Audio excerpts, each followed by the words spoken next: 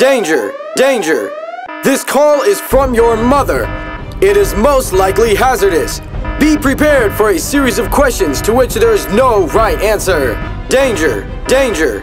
This call is from your mother. Even your voicemail is scared.